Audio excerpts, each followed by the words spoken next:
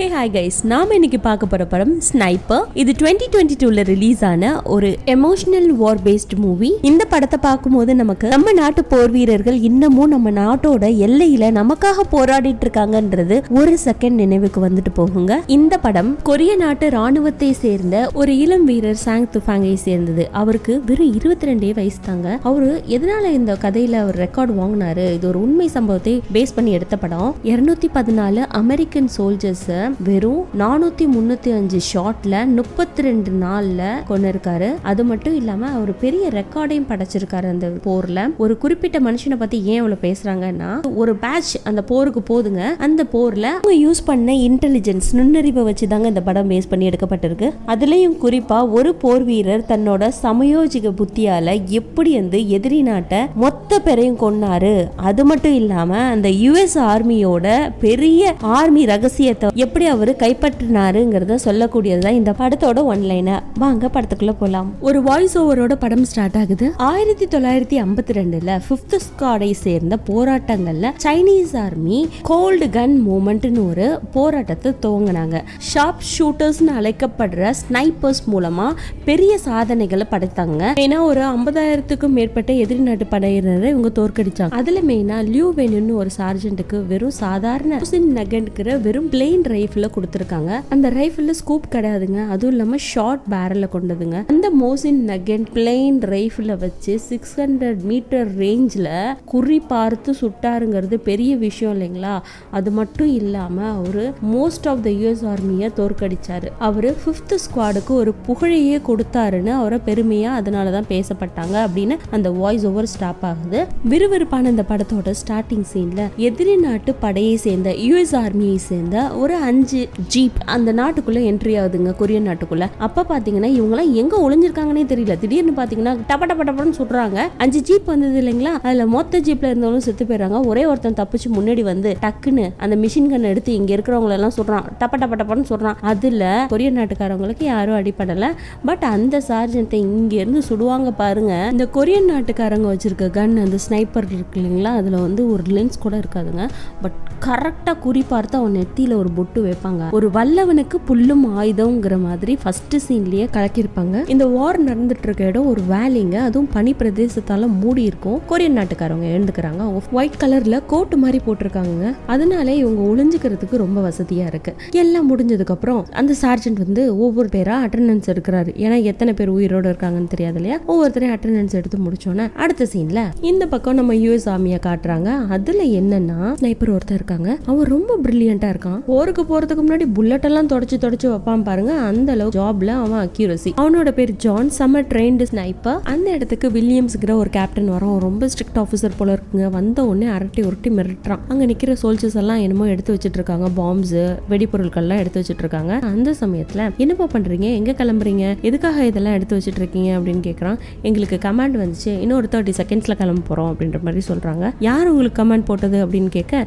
பின்னாடி திரும்பி சிக்னல் காட்டுறான் ஒருத்தன். அந்த சிக்னல் காட்டின இடத்த நோக்கி போகிறான் அங்கே பார்த்தா நம்ம ஜான் உட்காந்துட்டு துப்பாக்கி தோட்டாலாம் தொடச்சி வச்சுட்டு உட்காந்துட்டு இருக்கான். என்னப்பாச்சு யாருப்பா உனக்கு கமெண்ட் கொடுத்தது? அப்படின்ற மாதிரி கேட்டுக்கிட்டே கீழே ஒரு டெட் பாடி இருக்குது அதை ஒரு எத்தி ஏற்றுறான் இதுதானே நேற்று நீ சுட்டது? இதை அடிச்சுட்டு என்ன பண்ணிட்டு இருக்க? அப்படின்ற மாதிரி அவன் சொல்கிறான் இந்த டெட் பாடி நான் எடுத்துகிட்டு போக போகிறேன் திரும்பவும் அந்த போர் பூமிக்கு அப்படின்றான். எதுக்கு? அப்படின்னு இவன் கேட்குறான் ஒன்றும் இல்லை. இந்த நியூஸ் பேப்பரை பாருங்கள் எப்படி எல்லாம் அரசியலில் பேசியிருக்காங்க. அதுவும் மெயினாக இந்த ஆர்டிக்கலை பாருங்க. அப்படிங்க. காப்பாற்றுறதுக்கு நான் எவ்வளோ கஷ்டப்பட்டேன். அதுவும் இல்லாமல் நீ இவனை என்னோட ஆத்தரைசேஷன் இல்லாமல் கொண்டிருக்க அப்படின்ற மாதிரி சொல்கிறான் இவனை வச்சு தான் ஒரு கேமே இருக்குது இவனை நான் எடுத்துகிட்டு போக போகிறேன் அப்படிங்கிறான். நீ இவனை எடுத்துகிட்டு போயிட்டு ஏதாவது ஒரு பிரச்சனை வந்துச்சுன்னா நீ திரும்பி வராத. உனக்காக நான் இங்கே காத்துட்ருக்கேன்னு மட்டும் நினச்சிக்கோ. இந்த நியூஸ் பேப்பரில் இருக்க ஆர்டிக்கல் ஒன்று ரூன் பண்ணிருச்சா? உனக்கு என்ன? Ace American sniper kills Chinese grim reaper அப்படின்னு நியூயார்க் டைம்ஸில் வரணும். அதுக்காக தானே இவ்வளோ போராடிட்டு இருக்க அப்படின்றான். குறிப்பிட்ட கட்சி இவனை உயிரோட பிடிச்சிட்டு வர சொல்லியிருக்கு. நீங்கள் என்னவோ இப்படி சொல்கிறீங்க எனக்கு இந்த ஆர்டர் போடுற வேலையெல்லாம் வேண்டாம் அப்படிங்கிறான். அப்பா இது பிளே கிரவுண்ட் இல்லைப்பா. போர் பூமி பார்த்து நடந்துக்கோ. பாரு என்கிட்ட இருக்கிறதெல்லாம் வெல் ட்ரெயின்டு ஸ்னைப்பர்ஸ் அவங்க எல்லாம் வச்ச குறி தப்பாது. நீ ஃபர்ஸ்ட் எனக்கு ஆர்டர் போடுற போற வேலையை விட்டுட்டு உன் வேலையை போய் பாரு அப்படின்னுறான் அடுத்த சீன்ல பக்கம் நம்ம கொரியன் வீரர்களை காட்டுறாங்க. இவங்கெல்லாம் பாக்குறதுக்கு ஒரு டுவெண்ட்டி டூ டுவெண்ட்டி த்ரீ ஏஜ்ல இருக்காங்க. ரொம்ப வெகுலியாவும் இன்னசென்ட்டாவும் இருக்காங்க. எல்லாரும் உட்காந்து ஒரு பிரேக்ஃபாஸ்ட் எடுத்துட்டு இருக்காங்க. அந்த சமயத்துல ஒருத்தன் இன்னொருத்தனை கூப்பிட்டு கவலைப்படாத எல்லாம் நல்லபடியாவே முடியும் அப்படிங்கிறான். நீ சொல்ல வந்தது சொல்லு அப்படின்னு இன்னொருத்த சொல்றான். அவன் பிறந்தது ஒரு பனிக்காலத்துல. நீ ஒரு கதையை ஆரம்பிக்க அவன் டமால்னு தலையில் அடிச்சுக்கிறான். ஏண்டா எத்தனை தடவை இந்த கதையை சொல்லுவேன் நானும் எத்தனை தடவை கேட்பேன் அப்படிங்கிற மாதிரி சொல்லிட்டு அது பண்ணுன்னு அங்கேருந்து அவன் ஏஞ்சி போயிடுறான். ஒருத்தன் இருக்கான் டேய் இந்த தடவையாவது என்னை வந்து கூட்டிட்டு போவாங்களாடா? அப்படிங்கிறான். கேப்டன் எங்களோட மாமா. உன்னை கூட்டிட்டு போவாங்களா இல்லையா நான் குறி சொல்றதுக்கு அப்படின்னு சொல்லிடுறான். அந்த சமயத்துல அந்த குரூப்போட கேப்டன் வரான். ஸ்குவாட் நமக்கு ஒரு மிஷன் வந்திருக்கு. இது நடந்த போர்ல ரெண்டு பேர் தாக்கப்பட்டிருக்காங்க. அதுல மெயினான நம்ம டீம்ல இருக்கவங்கள காப்பாத்தி கூட்டிட்டு வரணும். அவங்க ரொம்ப அடிப்பட்ட நிலைமையில இருக்காங்க. உயிர் போயிடுச்சா என்னன்னு நம்ம செக் பண்ணி அவங்கள இங்க எடுத்துட்டு வரணும்ன்ற மாதிரி சொல்லிடுறான். குரூப்ல கதை சொல்ல ஆரம்பிச்சா இல்லைங்களா? இவன் தான் நம்ம படத்தோட ஹீரோ அவன் கேப்டனை பார்த்து கேக்குறான். ரெண்டு பேருக்கு அடிபட்டுருச்சுன்னு சொன்னீங்க இல்லையா? அவங்க யாரு? அவங்க பேர் என்ன? அப்படின்னு கேக்குறான். ஆமா நீ யாரு? நீ நிறைய படிச்ச பையன் தானே? நீ என்ன இங்க பண்ற? உனக்கு இன்டர்வியூ இருக்கு போய் அட்டன் பண்ணு அப்படின்னு சொல்லிடுறான். இன்டர்வியூவா அப்படின்னு. நீ நிறைய படிச்சிருக்க அதனால உனக்கு இன்டர்வியூ இருக்கு. அதுக்கப்புறம் தான் உன்னை செலக்ட் பண்ண முடியும் அப்படின்னுறான் கமாண்டர் வந்து இவனை இன்டர்வியூ நடக்கிற இடத்துக்கு கூட்டிட்டு போறாங்க. அங்க ரெண்டு இன்டர்வியூ எடுக்கிற ஆஃபீஸர் இருக்காங்க. அதுல சொல்றாங்க அப்பா அவனை ரெண்டு மூணு கேள்வி தான் கேட்போம். அதுக்கு கரெக்டான பதில் சொல்லிட்டீங்கன்னா இந்த மிஷினுக்கு ஒன்று அனுப்புவோன்ற மாதிரி சொல்லிடுறாங்க. அதெல்லாம் வரி பண்ணாதீங்க. இவனோட கண்ணு ரொம்ப ஷார்ப்பு அப்படின்னு அந்த கமாண்டர் ரெக்கமெண்ட் பண்ணுறாரு சரி இன்டர்வியூ எடுக்கிறோம் பார்க்கலாம் அப்படின்னு சொல்லிட்டு கேள்வி கேட்க ஆரம்பிக்கிறாங்க. பயந்துகிட்டே இவன் கமாண்டரை பார்க்குறான். ம் வாயை மூடிட்டு பதில் சொல் அப்படின்ற மாதிரி சைகை காட்டுறாரு. ஃபர்ஸ்ட் கேள்வி கேட்குறாங்க உனக்கு கமாண்டர் கிட்ட பிடிச்சது என்ன விஷயம்? அப்படின்னு கேட்டோன்னே இவன் அவரோட ஸ்மைல் ரொம்ப பிடிக்கும் அப்படிங்கிறான். இது வரைக்கும் ஒரு ஸ்மைல் பண்ணி பார்த்ததே இல்லையே இந்த ட்ரூப்ல அப்படின்னு அந்த இன்டர்வியூ ஆஃபீஸர் சொல்ல நான் கூட தான் பார்த்தது இல்லை அப்படின்னு இவனும் சொல்கிறான் ஆமாங்க இவன் எந்த நேரமும் அழுதுகிட்டே இருப்பான். அதனால தான் அப்படி சொல்றான். ஆனா வேலையில ரொம்ப சின்சியருங்கன்னு அவர் சொல்றாரு. டக்குன்னு ஒரு டீ எடுத்து ரெண்டு பேருக்கும் கொடுக்குறாரு. சரி இருக்கட்டும். அடுத்த கேள்வி. இந்த ஃபிஃப்த் ஸ்குவாட்ல இருக்கிறதுக்கு நீ எப்படிப்பா ஃபீல் பண்ற? அப்படின்னு கேக்குறாங்க. இதுக்கு ரொம்ப அப்செட்டா இருக்குங்க அப்படின்வான் என்ன பதில்? இந்த ஸ்குவாட்ல இருக்கிறதுக்கே இவனுக்கு பிடிக்கலன்ற மாதிரி சார்ஜென்ட் இவங்க ரெண்டு பேரும் முறைப்பாங்க. எதுக்காக அப்செட் பட்டப்பா? அப்படின்ற மாதிரி கேட்பாங்க. ஒன்றும் இல்லை நேற்று நடந்த போரில் என்ன அனுப்பியிருந்தா நான் கண்டிப்பாக இந்த ட்ரூப்பையே காப்பாற்றிருப்பேன் அப்படின்ற மாதிரி சின்சியராக பதில் சொல்கிறான் அதை கேட்டோன்னே ரொம்ப ஹாப்பியாகிறாங்க இவன் ரொம்ப எஃபிஷியன்ஸுங்க ரொம்ப வந்து இவனுக்கு கண் பார்வையெல்லாம் நல்லா இருக்கு இவனை நீங்கள் எடுங்க கண்டிப்பாக இவன் ஜெயிச்சு வந்துருவான்ற மாதிரி கமாண்டர் ரெக்கமெண்ட் பண்ணி ஃபைனலாக இந்த இன்டர்வியூவில் அவன் பாஸ் பண்ணிடுறான். அவனை மிஷினுக்கு செலக்ட் பண்ணிடுறாங்க. அடுத்த சீனில் கமாண்டரோட சேர்த்து மொத்தம் ஒன்பது பேரை செலக்ட் பண்ணி அந்த மிஷினுக்கு கூட்டிட்டு போறாங்க. போற வழியில அவங்க பேசிட்டே போற மாதிரி இருக்கு. அந்த இடத்துக்கு போன உடனே படம் விறுவிறுப்பா ஆரம்பிச்சிருங்க. ஏ எதிரிங்களோட படையே இல்லைன்னு சொல்லிட்டு இவங்க பைனாக்குலர் வழியா பாக்குறாங்க. ஒருத்தரும் இல்லாத மாதிரி இருக்கு. சரி அந்த மெயினான ரெண்டு பேர் அங்க இறந்து கிடக்குறாங்க இல்லையா? அவங்களோட டெட் பாடியை நம்ம எடுத்துட்டு வந்துடலாம் அப்படின்ற மாதிரி அந்த டெட் பாடி கிட்ட கிட்டக்க போகிறாங்க அந்த சமயத்தில் நம்ம கமாண்டர் என்ன பண்ணுறான் ஒரு மேடான இடத்துல இருந்து ஆப்போசிட் சைட்டம் எதிரி நாட்டையும் எங்கே ஒளிஞ்சிருப்பாங்களோ பதுங்கியிருப்பாங்களோ அந்த இடத்த பார்க்குறான். திடீர்னு அவன் கண்ணுக்கு பளபளப்பாக ஏதோ தெரியுது. வேற ஒன்றும் கிடையாதுங்க. கன்னு அதில் இருக்கிற லென்ஸ் இருக்கு இல்லைங்களா? பளபளப்பாக தெரியுது. கெட் டவுன் அப்படின்னு கத்துறதுக்குள்ளே அவங்க படுக்கிறதுக்குள்ளே எதை பதுங்கிக்கிறாங்க. அந்த சமயத்துக்குள்ளே அவனுங்க எதிரி நாட்டை சேர்ந்தவனுங்க சுடுவானுங்க பாருங்க. டப்பு டப்புன்னு சுடுறதுக்குள்ளே இங்கே மூணு தலை விழுந்துரும். அடியை தூக்கு போன மெத்த பேர்லாம் ஒளிஞ்சுக்கிறானுங்க. சில பேர் உருண்டு அந்த பக்கமா ஓடி போய் மறைஞ்சுக்கிறானுங்க அந்த பக்கத்துலன்னு சுட்டது வேற யாரும் கிடையாது நம்மளோட ஜான் தான். அவன் வச்சிருந்தான் பார்த்தீங்களா கையில ஒரு டெட் பாடி அதையும் சேர்த்து கொண்டு வந்து இங்க போட்டிருப்பானுங்க. ஜாமன் கமெண்ட் கொடுக்குறான். எதிரி நாட்டுக்காரனுங்க அந்த மணல் மூட்டை இருக்கு இல்லைங்களா அது மூலியமாவே யூ ஷேப்ல ஒரு பில்டிங் மாதிரி கட்டி வச்சிருப்பானுங்க. எந்த பக்கத்துல இருந்து எந்த பக்கம் வந்து ஸ்னைப்பர் ஷூட் பண்ணா கரெக்டா வந்து இவங்க மேல படுங்கிற மாதிரி வளைச்சு கட்டி வச்சிருப்பானுங்க. ஒவ்வொருத்தரும் ஒவ்வொரு இடத்துல ஓடி போயிட்டு கரெக்டா குறி பார்த்துட்டு உட்காந்துட்டு இருக்கானுங்க. இது கொரியா நாட்டுக்காரன்களும் அவனோட ரைஃபில் ரெடி பண்ணிக்கிறான் கமாண்டர் பைனாக்குலர் வழியா பார்த்து பார்த்து கமெண்ட் சொல்லிட்டு இருக்காரு. டே அங்கேயே இருங்க அசையாதீங்க அவனுங்க சுற்றுவானுங்க அப்படின்ற மாதிரி சொல்லிட்டு கரெக்டா நான் சொல்லும் போது எந்திரிச்சு அந்த இடத்த விட்டு ஓடிவாங்கன்ற மாதிரி சொல்லிட்டே இருக்காரு. பட் டேலண்டான கமாண்டருங்க கொரியன் நாட்டில் இருக்கவர் அவரு என்ன பண்ணுவாரு? தன்னோட பைனாக்குலர் மூலியமா அவனுங்க எந்த இடத்த நோட் பண்றானுங்கன்றத பார்ப்பாரு கரெக்டா ஜான் ஒரு இடத்த நோட் பண்ணுவான். மறைஞ்சு உட்காந்துருக்காங்க இல்லையா? ஒருத்தனோட தலை மட்டும் லைட்டா நீட்டிட்டு இருக்குங்க அதை இவன் குறி பார்த்துட்டு இருக்கிறத இந்த சைடு இருக்க கமாண்டர் கரெக்டா பார்த்துட்டு டே நவுந்து வாங்கடா அப்படின்றவர். அவனுங்க நகர ஜான் சுட கரெக்டா இருக்கும் பாருங்க. கொஞ்சம் மிஸ் ஆயிருந்தாலும் ஒருத்தன் போயிருப்பான். கமாண்டர் கொஞ்ச தூரம் உருண்டு போயிட்டு ஒரு இடத்துல கணக்கு போட ஆரம்பிப்பான். என்ன பண்ணா தப்பிக்க முடியும்னு ஒரு கணக்கை போட்டுட்டு டக்குன்னு பைனாக்குலர் வழியா அந்த எதிரி நாட்டை பார்ப்பான். அந்த சமயத்துல என்ன ஆகும்னா ஒரு மெஷின் கன் கிட்ட ஒரு சோல்ஜர் ஒளிஞ்சிருப்பாங்க. ஒரு பாறை கிட்ட ரெண்டு சோல்ஜர் ஒளிஞ்சிருப்பாங்க. அந்த மெஷின் கன் கிட்ட ஒளிஞ்சிருந்தா இல்லைங்களா அவன் என்ன பண்ணுவான்? அவன் கையில ஒரு பைய வச்சிருப்பான். டக்குன்னு கமாண்டர் சொன்ன உடனே அந்த இடத்த விட்டு ஓடி வந்து பக்கத்துல ஒரு பாறை இருக்கும் அதுல ஒளிஞ்சுப்பாங்க. அவன் என்ன பண்ணுவான்? இதை விட்டு கிராஸ் பண்ணி இவங்க ரெண்டு பேர் இருக்காங்க இல்லையா அந்த இடத்துக்கு வர முடியாது. என்ன பண்ணுவான்? அங்க இருந்தே அவன் கையில இருக்க பைய தூக்கி போடுவான். எப்படி இருந்தாலும் நான் செத்துருவேன். மாத்தி மாத்தி போட்டுருவானுங்க அப்படின்னு சொல்லிட்டு இந்த ரெண்டு பேரும் ஒளிஞ்சிருந்தானுங்க பத்தியா? அந்த இடத்துக்கு அந்த பைய தூக்கி போடுறாங்க கரெக்டா ஒருத்தன் அந்த பைய கேட்ச் பண்ணுவாங்க. அந்த பாறையில் பாறையில ஒரு யூ ஷேப்ல இருக்கும். அந்த சின்ன கேப் வழியா ஜான் குறி பார்த்து அவனை சுற்றுவான் பாருங்க. அதே இடத்துல அவன் செத்துருவான். இந்த சைடு கமாண்டர் கதருவான் கொரிய நாட்டை சேர்ந்தவங்க நாலு பேர் செத்துட்டாங்க. இருக்கிறது ஆறு பேர் இன்க்ளூடிங் கமாண்டரை சேர்த்து. கமாண்டர் டக்குன்னு யோசிப்பாரு என்ன பண்ணலான்ட்டு. கமாண்டர் ஒரு பைனாக்குலர் மூலியமா அந்த சைடு பாக்குறாரு. ஒருத்தனோட நடமாட்டமும் இல்லைன்றது தெரிஞ்சுக்கிட்டு டேய் நல்லா கேட்டுக்கங்க. நான் நான் கமாண்ட் கொடுப்பேன் டக்குன்னு அந்த இடத்த விட்டு ஓடி வந்துருங்கடா அப்படின்ற மாதிரி சொல்லிடுறாரு. அந்த இடத்த விட்டு சில அடி தூரம் உருண்டு போயிட்டு டே பசங்களா உங்க கையில கரண்டி இருக்கு இல்லையா? பாருங்க கரெக்டான சமயம் வரும்போது நான் சொல்றேன் அதை யூஸ் பண்ணி அங்கேருந்து தப்பிச்சு வந்துருங்கன்ற மாதிரி சொல்றாரு. தாலிப்பு கரண்டி மாதிரி வச்சிருப்பாங்க அதான் ஸ்கூப் பண்ணுவாங்க அது வழியா அதாவது லென்ஸ் மூலியமா பார்க்க முடியாது. ஸோ அந்த கரண்டியை யூஸ் பண்ணி பார்க்குறாங்க. நம்ம ஹீரோ அந்த கரண்டி எடுத்து பார்த்துட்டு இருக்கோம் மற்ற எல்லாரையும் சுடுங்க அப்படின்றாங்க. என்ன பிளான்னா இவன் கரண்டியை வச்சு பார்த்துட்டு இருக்கான் இல்லைங்களா? அந்த சமயத்துல இதே கொரியன் ட்ரூப்ல இருக்கவங்க சுடுவாங்க. சுடும்போது அங்க இருக்க யூஎஸ் ஆர்மி ட்ரூப் எல்லாம் வந்து குறிப்பாக்காம டக்குன்னு ஒளிஞ்சுப்பானுங்க. அந்த செகண்டை யூஸ் பண்ணி அந்த இடத்துல இருந்து தப்பிச்சு வந்துருங்கன்றாரு. அதே மாதிரி தப்பிச்சும் போயிடுறானுங்க. நம்ம ஜான் மட்டும் கரெக்டா அந்த கரண்டியை குறி பார்த்துட்டு ஓல்ட் ட்ரிக் என்ன கிண்டல் பண்றீங்களா? அப்படின்னு சொல்லிட்டு கரண்டிலே சுட்டுறான். மாத்தி மாத்தி ஃபயரிங் நடந்துட்டு இருக்கு கமாண்டர் ஒன் டூ த்ரீன்னு சொல்லி அந்த இடத்த விட்டு தப்பிங்கன்னு சொல்றாரு. கரெக்டா இவனுங்க தப்பிக்கிறானுங்க. அந்த சமயத்துல இந்த ட்ரூப்ல இருக்கவன் யூஎஸ் ட்ரூப்ல இருக்கவன் குறிப்பாத்து அவங்கள சுட போற சமயம் இந்த செகண்ட் இந்த சைட்ல இருக்க கொரியன் ட்ரூப்ல இருக்க நம்ம கமாண்டர் சுடுவாரு பாருங்க.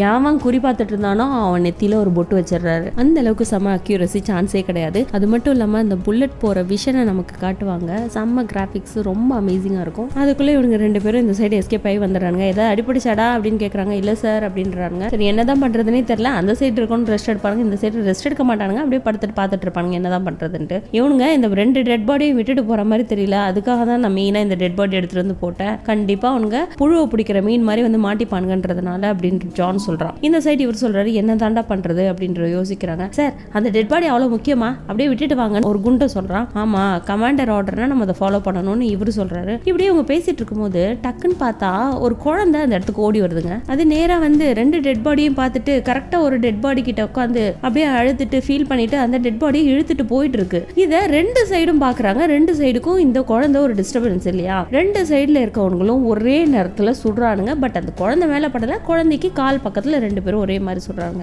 ஆப்போசிட்டில் இருக்கவங்களுக்கும் என்னோட தாட்ஸ் மாதிரி தான் பயங்கர அக்யூரஸியா இருக்கானுங்க அப்படின்னு ஜான் சொல்ல இந்த குழந்தை என்ன பண்ணுறதுன்னு இன்னொருத்தன் கேட்குறான் சுட்டுலாமா அப்படிங்கிறான். டேய் நம்ம கொல்ல வந்தது எனிமீஸை மட்டும்தான். அது குழந்தையெல்லாம் சுடக்கூடாதுன்ட்டு ஜான் சொல்கிறான் அப்போ கொஞ்ச நேரம் பொறுமையாக இரு இந்த விளையாட்டை பாருன்னு சொல்லிட்டு ஜான் என்ன பண்ணுறான் அங்கே இருக்க அந்த சாப்பிட்டு வச்ச டின் கேன்லாம் இருக்கு இல்லைங்களா அதை எடுத்து எடுத்து தூக்கி தூக்கி அந்த பையன் கிட்ட போட்டோன்னே அந்த பையன் அதை தேடி தேடி எடுத்துக்கிட்டு இவங்க ட்ரூப் கிட்ட வந்த குழந்தை. குழந்தைய ஹாஸ்டேஜ் பண்ணிக்கிறானுங்க. இப்போ குழந்தைய காப்பாற்றணும் ரெண்டாவது மிஷின் அவங்களுக்கு கிடைச்சிருச்சு. கொரிய நாட்டில் இருக்க சன்னு ஒருத்தர் தான் குண்டை இருக்கான் இல்லைங்களா? அவன் பக்கத்தில் இருக்க அயனை எடுத்து அவன் உடம்புல கட்டிக்கிட்டு அப்படியே நடந்து அந்த அயன் பாரை தூக்கவே முடியாது. அவன் கொஞ்சம் வெயிட்டாக இருக்கிறதுனால அதை தூக்கிட்டு கிட்டத்தட்ட யூஎஸ் ஆர்மி கிட்ட வந்துடுவான் அந்த சமயத்தில் ஜான் என்ன பண்ணுவான்? அவனோட கட்டி இருக்கிற அந்த கயிறை சுட்டோன்னு கீழே விழுந்துரும். அந்த இரும்பு ரோடு அந்த இரும்பு ரோடு விழுந்ததுக்கு அப்புறம் அவன் நின்றுட்டு இருப்பான். அதுக்குள்ள அவன் என்ன பண்ணுவான்? சாக போறான்னு தெரியும். என்னோட பையனுக்கு அயன்னு பேர் வைங்கன்னு சொல்லுவான். கரெக்டாக ஜான் சுட்டு அவன் செத்துருவான். அந்த இடத்துல அவன் செத்ததுக்கு அப்புறம் ஜான் சொல்லுவான் ரொம்ப பிரேவான கிட் இல்லை அப்படின்ற மாதிரி அப்ரிசியேஷன் பண்ணுவான். இந்த பக்கம் நம்ம ஹீரோ தேம்பி தேம்பி அழுவான் பாருங்க. அவன் ஒரு சோல்ஜர் மாதிரியே இருக்க மாட்டான். ரொம்ப இன்னசென்ட்டாக இருப்பான். அந்த சமயத்தில் அந்த குழந்தைய அவங்க பிடிச்சி வச்சிருந்தாங்களா அது வெளியில் வரும். அது கையில் ஒரு பெரிய இன்ஜெக்ஷன் இருக்குங்க. அது நேராக வந்து இங்கே கடந்த டெட் பாடியில் ஒரு டெட் பாடிக்கு கரெக்டாக எந்த இடத்துல கன் ஷாட் பட்டிருந்தோ அந்த இடத்துல இன்ஜெக்ஷன் போட சொல்லி ஆர்டர் கொடுத்துருப்பாங்க. அந்த குழந்தையும் கரெக்டாக வந்து போட்டுரும் போட்ட மறு நிமிஷம் அந்த டெட் பாடி பாடியிலேருந்து உயிர் வரும். அது ஏதோ ஒரு மருந்து போல இருக்குங்க. அந்த டெட் பாடி கிடையாது. அவனுக்கு அடிபட்டிருக்கு. அதனால அவன் கோமா ஸ்டேஜில் இருந்திருக்கான். ஸோ அவனுக்கு உயிர் வந்திருக்கு. இது ஜானுக்கு நல்லா தெரியும். நான் அவன் என்ன பண்ணுறான் அந்த குழந்தைய என் பக்கத்தில் கொஞ்சம் நேரம் நீ படுத்துக்கிட்டீன்னா எனக்கு வழி தெரியாதுன்ற மாதிரி சொல்கிறான் அந்த குழந்தை படுத்துக்குது. கொஞ்சம் நேரம் கழிச்சு சரி நீ எந்திரிச்சு போ அப்படின்ற மாதிரி அந்த குழந்தைகிட்ட சொல்கிறான் அந்த குழந்தையும் எந்திரிச்சு அந்த இடத்த விட்டு போயிருதுங்க. இவனுக்கு உயிர் திரும்ப வந்துருச்சு. ஆனால் இன்னும் சில மணி நேரங்கள் தான் அவன் உயிரோட இருப்பான்றது. ரெண்டு டீமுக்கும் நல்லா தெரியும். ஏன்?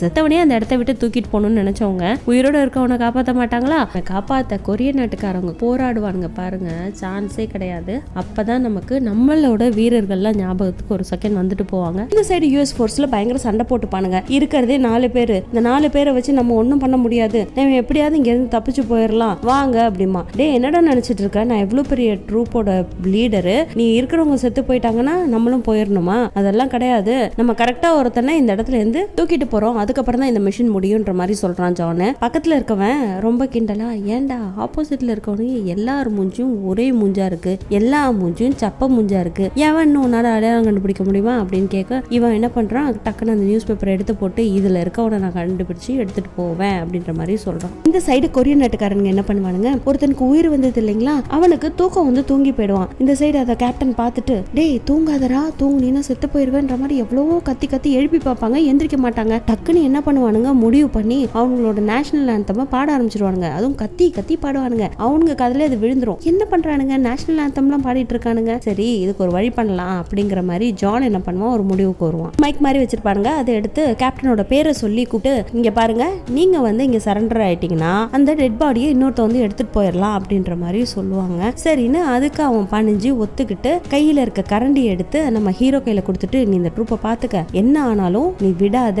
ஏதாவது அவனுங்க எசக்கு மசக்கு பண்ணி என்னை கொண்டுட்டானுங்கன்னா நீ வந்து எப்படியா இருந்தாலும் இவனை இந்த இடத்த விட்டு காப்பாத்தி கொண்டுட்டு போறது உன்னோட கடமைன்ற மாதிரி ப்ராமிஸ் வாங்கிட்டு சென்சேஷனெல்லாம் அந்த இடத்த விட்டு போவாருங்க. நமக்கே ஒரு செகண்ட் கண்ணுல இருந்து கண்ணீர் வரும். அவர் என்ன பண்ணுவாரு? தன்னோட ஒருத்தனை கூட்டிட்டு போவாரு. கையை நல்லா பறவை மாதிரி நீட்டு வச்சுக்கிட்டு பின்னாடி ஒருத்தன் அவனோட கோட்ல மறைஞ்சுக்கிட்டு பின்னாடியே ஒருத்தன் வருவான். எதுக்கு வரான்னா அந்த டெட் பாடியை எடுத்துட்டு போறதுக்கு. இவரும் மெதுவா மெல்ல மெல்ல நடந்து கிட்டக்க போறாரு யூஎஸ் ஆர்மி கிட்ட. பின்னாடியே அவனும் வரான். கொஞ்சம் தூரம் வந்ததுக்கு அப்புறம் பையன் என்ன பண்றான்? அந்த டெட் பாடியை தூக்கிட்டு அந்த இடத்த விட்டு போகிறான் கொஞ்சம் கொஞ்சமாக இழுத்துட்டு போகிறான் இவர் என்ன பண்ணுறாரு கொஞ்சம் கொஞ்சமாக அப்ரோச் பண்ணி அந்த டீம் கிட்ட போகிறாருங்க அந்த சமயத்தில் யூஎஸ் ஆர்மியோட கேப்டன் இருக்கான் பாருங்க வில்லியம்ஸ். அவன் ஒரு படையே திரட்டிக்கிட்டு அந்த இடத்துக்கு வந்து அந்த பையன் அந்த டெட் பாடி மாதிரி இருக்கான் இல்லைங்களா? அவனை தூக்கிட்டு போகிறான் இல்லைங்களா? அந்த இடத்துல அவனை சுட்டுடுறான் டக்குனு இதை பார்த்த கேப்டனுக்கு கோவம் வந்துடும் கொரியன் நாட்டுக்காரனுக்கு. என்ன பண்ணுவான்? அவன் ஒரு மனித வெடிகுண்டா ஆல்ரெடி ஃபார்ம் ஆகி தான் அந்த இடத்துக்கு முடிவு பண்ணி வந்திருப்பான். இந்த சைடு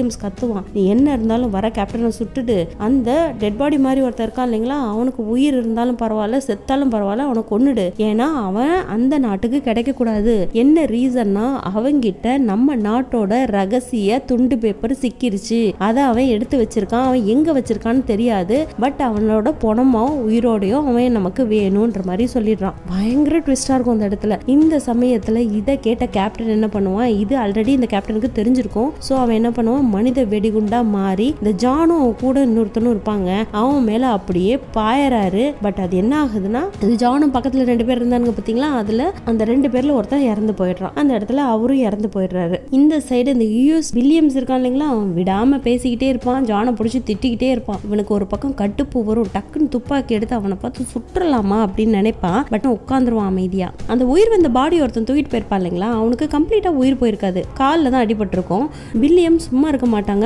அவனையும் சுட்டு கொன்னுடுறான். இருக்கிறது நம்ம ஹீரோ மட்டும்தாங்க இந்த சைடு அந்த சைடு பார்த்தீங்கன்னா ஜான் ரொம்ப கில்ட்டியாக ஃபீல் பண்ணுவான். போருங்கிற இடத்துல ஒரு ப்ராமிஸாக பண்ணிட்டு அதை கீப் அப் பண்ண முடியலையே. என்னதான் இருந்தாலும் அவங்க எதிரி நாட்டுக்காரங்களா இருந்தாலும் நாணயமாக இருந்தானுங்களே அப்படின்னு நினச்சிக்கிட்டு அப்படியே ஃபீல் பண்ணிட்டு உட்காந்துட்டு இருப்பான். இந்த போராட்டத்துக்கு நடுவில் இந்த சுயநினைவு இழந்தான் பார்த்தீங்களா ஒருத்தன்? கீழே படுத்து கிடக்குறானே. அவனுக்கு சுயநினைவு வந்து அவன் பேண்டேஜ் போட்டிருப்பாங்க. அதை உருவி குழந்தையோட கேண்டியில செக் பண்ணி பாருன்ற மாதிரி ஒரு சீட்டை எழுதி அதை நம்ம ஹீரோ கிட்ட காட்டுறதுக்கு ட்ரை பண்ணுவாங்க. அதுக்குள்ள ஜான் அதை கண்டுபிடிச்சிருவான். இங்கே பாரு அவன் ஏதோ ஒன்று சீக்ரெட்டா எழுதி அவன் கிட்ட சொல்றான். அவனை எழுத விடாம பண்ணு டக்குன்னு அவனை சுட்டு கொன்னுடுன்ற மாதிரி அந்த நோட்ஸையும் சுட்டுருவானுங்க.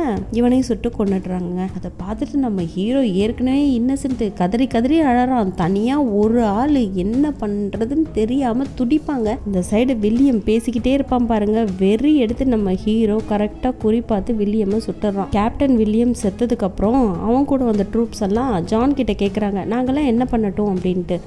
உங்களோட கேப்டன் செத்துட்டான். நீங்களும் திரும்பி யூஎஸ் ஆர்மிக்கே போயிடுங்க ஜான் எல்லாத்தையும் முடிச்சுட்டு வரதா சொல்லிட்டாரு. அப்படின்ற மாதிரி சொல்லிடுங்கன்னு அவனுங்க திரும்பி போயிடுறானுங்க. இந்த சைடு இருக்கிறது ரெண்டு பேர் இந்த சைடு இருக்கிறது ஒரு பேர் தாங்க அந்த சமயத்தில் இந்த போன குழந்தை இருக்கு இல்லைங்களா அது திரும்ப வருங்க. வந்து இவன் செத்து போயிட்டான் இல்லைங்களா இவன் கிட்ட உட்காந்து அழுதுட்டு ஊன்னு அழுதுட்டு இருக்கோம். இதை ஜான் பார்த்துருவான் பார்த்துட்டு இந்த குழந்தைய வச்சு தான் இவனை முடிக்கணும். இருக்கிற ஒருத்தவனையும் முடிக்கணும் அந்த சீக்கிரட்டை எடுக்கணும்ன்றத பிளான் பண்ணிடுவான். டக்குன்னு இந்த கமாண்டருக்கெல்லாம் கால் பண்ணி எனக்கு ஒரு டேங்கர் வேணும் அப்படின்ற மாதிரி சொல்லிடுவான். அந்த இடத்துக்கு டேங்கரும் வந்துடும் கரெக்ட் குழந்தைய அவன் கடத்திடுறான். அந்த குழந்தைய வாயெல்லாம் கட்டி அந்த டேங்கருக்குள்ள உட்கார வச்சு அவனுக்கு ரெண்டு பேரும் ஓட்டிட்டு போயிட்டே இருக்கானுங்க. அவனை எப்படியாவது சுட்டுறலான்ற மாதிரி. இந்த சைடு இருக்கிறது ஒருத்தன் தான் இல்லைங்களா? அவன்கிட்ட இருந்து எந்த அசைவும் வராது ஒரு கன் சவுண்டும் வராது. அவன் இருக்கானா இல்லையானே தெரியலையே அப்படின்ற மாதிரி அவன் ஃபீல் பண்ணுவான். பார்த்த இடம் பார்க்காத இடம் எல்லாம் மிஷின் கன் வேறீங்களா? டப்படன்னு சுடுவானுங்க. அப்படி இருந்தாலும் அவன் மாட்டவே மாட்டான். என்னதான் ஆச்சு? அவன் உயிரோட இருக்கானா? இல்லையான்னு சொல்லிட்டு டேங்கரை ஓட்டிட்டு போவானுங்க. டக்குன்னு என்ன பண்ணுவான் நம்ம ஹீரோ பாஞ்சு நம்ம கேப்டன் உருண்டு உருண்டு சுடுவார் இல்லைங்களா? அதே மாதிரி உருண்டு உருண்டு சுட்டு கரெக்டாக குறி பார்த்து இவங்களோட கண்ணாடி அந்த டேங்கருக்குன்னு ஒரு கண்ணாடி வச்சிருப்பாங்க. முதல்ல மேல இருக்க கண்ணாடியை சுடுவான். அதுக்கப்புறம் கீழே அவனுங்க எந்தெந்த வழியா பாக்குறானுங்களோ அது மொத்தத்தையும் சுட்டுருவாங்க. செம்ம பிரில்லியன்ட்ல டேய் வாரியரா இல்ல கோஸ்டாடா திடீர்னு வரான் எல்லாத்தையும் சுட்டு போட்டு போயிடுறானே அப்படின்ற மாதிரி. ஒன்றும் இல்லை அவன் இருக்கானா? இல்லையான்னு பாரு. அவன் காலில் ஒரு குண்டடி பட்டுருச்சு. அவன் அந்த இடத்துல ஒளிஞ்சிட்டு இருக்கான். ஆகும் உயிரோட இருக்கானா இல்லையான்னு தெரியல. அவன் காலில் பட்டுச்சா இல்லை உடம்புல பட்டுச்சான்னு தெரியல. நீ லைட்டாக அந்த மேலே இருக்க கேப்பை தூக்கிட்டு அவன் இருக்கானா இல்லையான்னு பாருன்ற மாதிரி